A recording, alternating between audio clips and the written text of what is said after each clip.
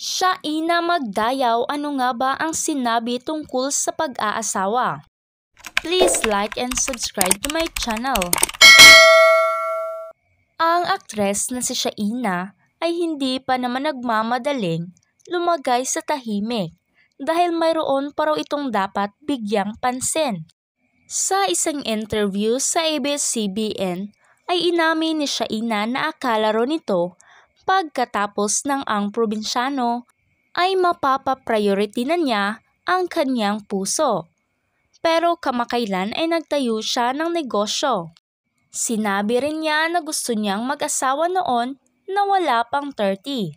Sabi niya, I actually thought na paglabas ko ng probinsyano, I would have a time. Sabi ko, medyo ready na ako.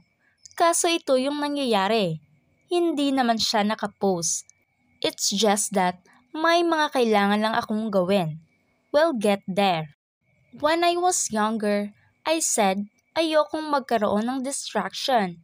I guess if it's the right person, that person won't be a distraction but an inspiration for you being a better person sa lahat ng bagay, sa lahat ng aspects ng buhay.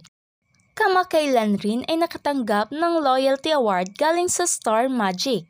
Sabi niya, I'm still letting everything sink in. Inabot ng 25. Akalain mo yon? After a few attempts to quit and run away from the biz, andito pa din ako and this wouldn't have been possible if it weren't for the people behind me.